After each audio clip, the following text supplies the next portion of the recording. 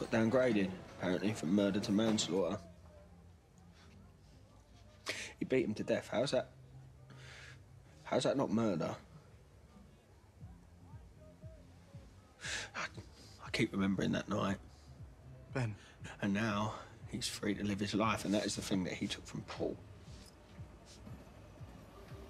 You see, I should should have dealt with this at the time, but everyone told me, everyone told me just to, to let the police do their job, that we will get justice. But this this isn't justice, is it?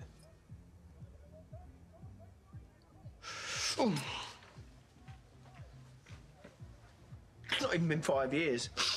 It's not even been five years, and now he's out and he's got his whole life ahead of him. This is karma.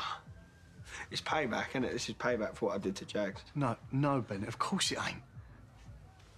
But no, where are you going? I know someone who can help me track down Simon. I'm not letting you leave. Can't do nothing, all right? Not when he's out there, okay? Now move, But Callum. we both know which one of us is stronger here. Is that a threat?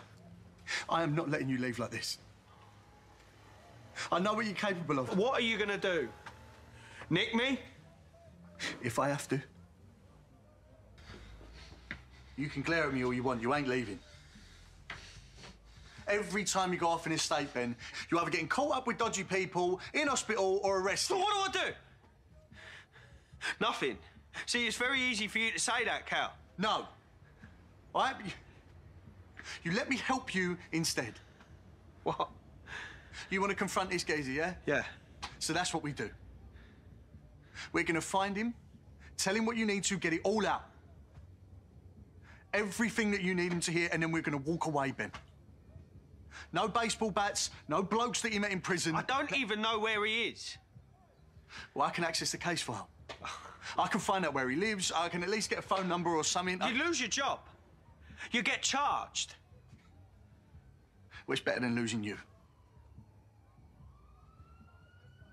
Now, we do this my way.